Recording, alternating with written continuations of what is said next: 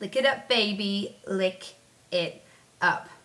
One of my favourite films of all time, and the ultimate in teen flicks, would have to be Heathers, starring Winona Ryder as Veronica Sawyer and Christian Slater as the rebel JD, and, well, three Heathers who take bitch to a whole new level.